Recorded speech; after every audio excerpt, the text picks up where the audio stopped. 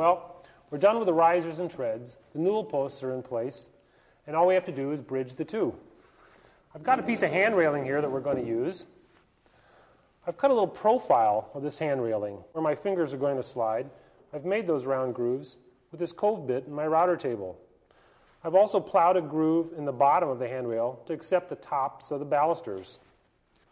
Now using my miter box and my bevel gauge, I've already cut the bottom of this piece of railing at the right angle. I'm going to butt it into the post and setting it on top of all these nosings, I'll mark its length in place.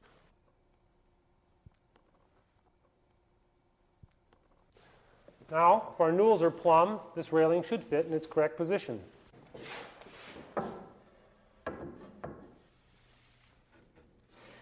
Now that I've cut it to length, let me show you how I arrived at its position. Down here is a mark.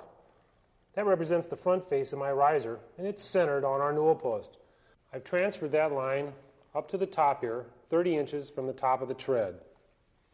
Then with my bevel gauge, I've marked the angle of the railing and brought that line around square to the front, and that's where it sits. I also did the same thing at the top. Now I'll run a few screws from the bottom side of the railing into the newel and at the top, and then we'll be ready for balusters.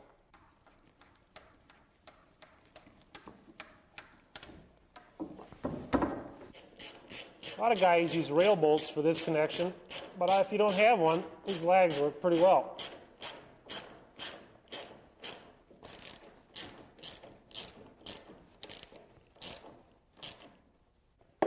You can see this landing newel has to be a lot taller than the starting newel because this railing for the second flight is going to start way up here. Now on to the balusters.